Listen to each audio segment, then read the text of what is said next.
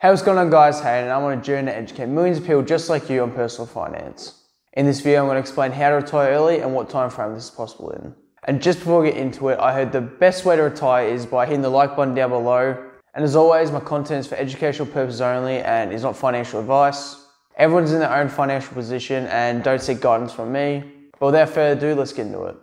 The easiest step to determine when to retire is to first understand how much money you need in order to retire. This can act a benchmark or goal that must be surpassed for you live your life in the freedom and comfort of doing what you want when you want to do it. So you as the person intending to retire must conclude how much monthly income you desire in order to live out your life without factoring in taxes. So ask yourself, do I need $5,000 a month? Do I need $10,000 to live out a more extravagant lifestyle with lots of holidays? Whatever the number is, and it does require a bit of thought, but looking at future payments such as life insurance or a car you want or house mortgages that you still need to pay off, and then look at future holidays you have to book or you have a hobby that you want to pursue. Take out a calculator on your phone right now and multiply that monthly income times 200. Now, Hayden, you may ask, what does this number mean?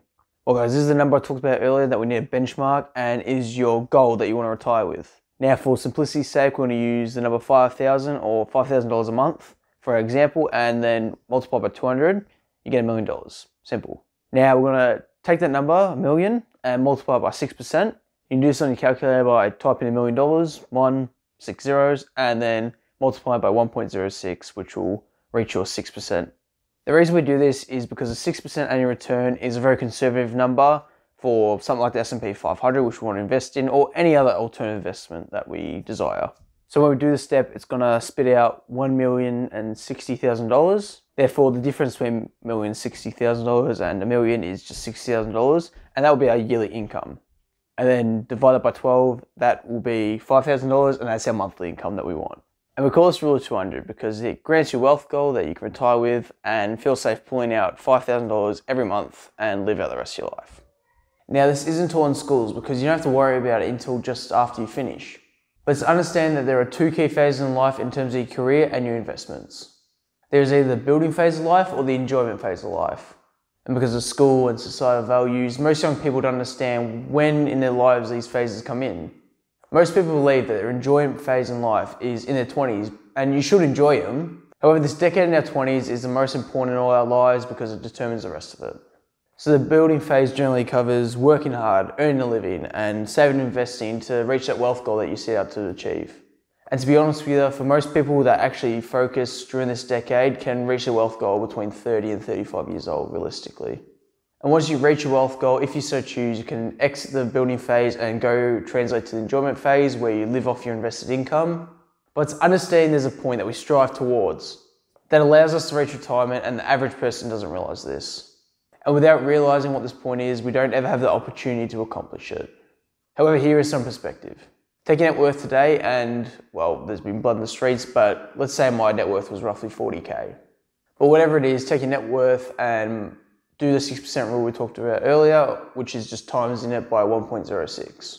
For me, it'd be 42,400, so the difference between that and 40,000 is 2,400. Divided by 12, and that's an output of $200 a month. Can I retire from that? No. But hey, what if I reinvest it all back into stocks? You still can't retire. This is because you don't need cash flow to survive in the building phase of life. Since as income comes in, you can save and invest the rest. Whilst in the enjoyment phase of life, you're actually not working, so that invested income is now your own actual income.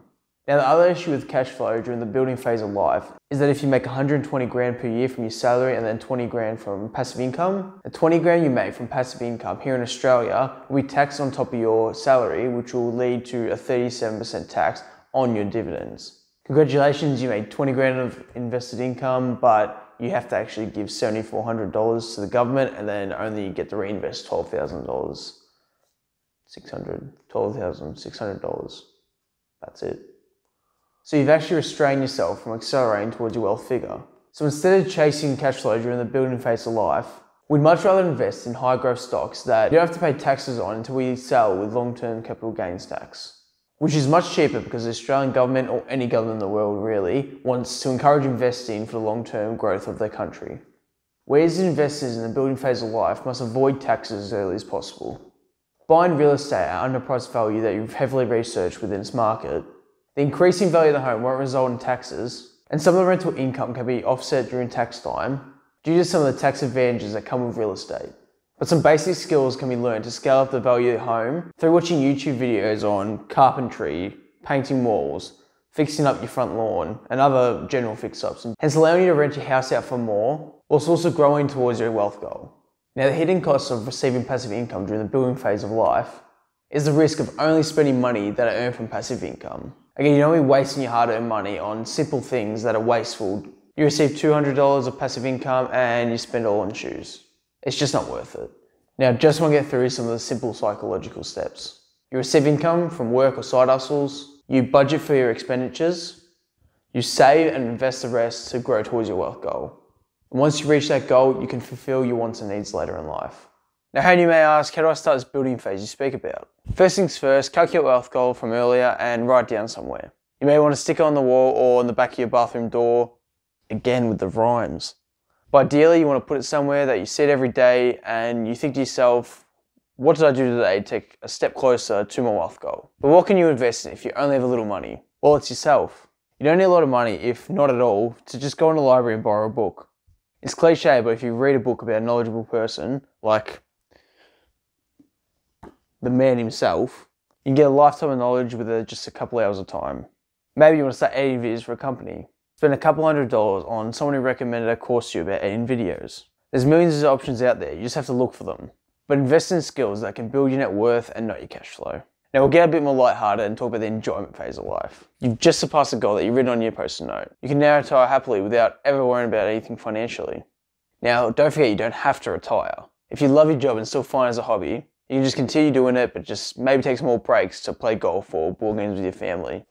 Because the best part about board games is that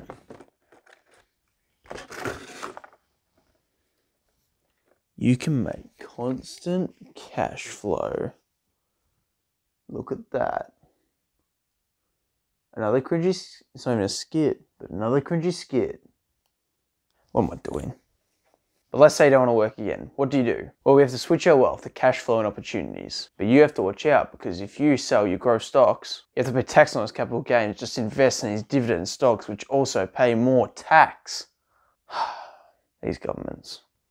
So that's an issue. Well, in order to avoid more taxes, you have to move your residency for a couple years to a different state or country that has low or no capital gains tax. As far as I'm aware, moving away from high tax states such as California and moving to these low or no tax states that are listed here will reduce your taxes astronomically so you can make that switch.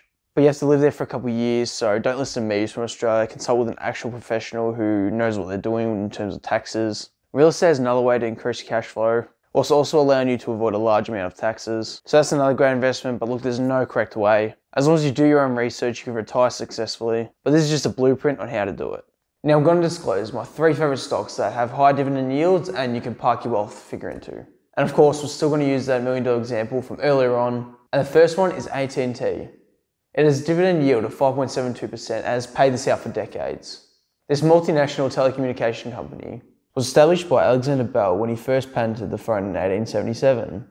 And it still remains a strong company over 150 years later. I actually used its services when I went to America about six years ago, and it seems to be just as popular today as far as I'm aware alongside companies like Verizon, Verizon, Verizon.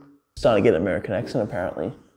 Now, of course, during retirement, you hope that this investment appreciates over time. However, the safety of this dividend giving you $57,200 a year can ensure that you'll still maintain your $5,000 a month goal. Now, more importantly, let's get excited for some real Australian companies, and our first one's going to be Rio Tinto.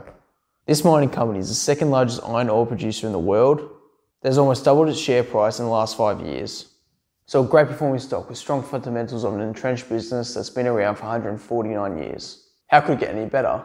Well, a whopping 11.03% dividend yield means a million dollars will provide you $110,300 annually, and they've delivered the dividend every six months for the last 10 years. And Australia was the global leader in iron exports at roughly 56% of the total value of the industry from the latest 2020 records. So this company will continue to grow steadily. And don't forget they also produce largely in copper, aluminium and minerals. Now the other large iron producer in Australia is BHP, this immense conglomerate is, in fact, the world's largest iron producer and mining company in the world. that also operates in the petroleum industry. Its price has surged over the last five years and has a dividend yield of 10.28%, so again can grant an annual return of $102,800, which is well above our monthly income goal, along with ensuring we're investing in one of the biggest blue chip stocks that will continue to grow and advance its operations. And if you haven't realised, I'm trying to promote Australian companies so you can give us all your money. These two companies are also available on NASDAQ, so all you Americans can invest in it in your home country. The general values in terms of reaching wealth figure is keeping good spending habits and consistently investing through dollar cost averaging into your investments. But with that said, guys, thanks for tuning in to the simplest investing strategy to retire by 2030. Click on my previous video where I gave my favorite passive income ideas for 2022. And don't forget to like and subscribe because I'm trying to get my message out to as many people as possible. So you supporting the channel will help contribute to the mission. Below my socials, but anyway, guys, heading out.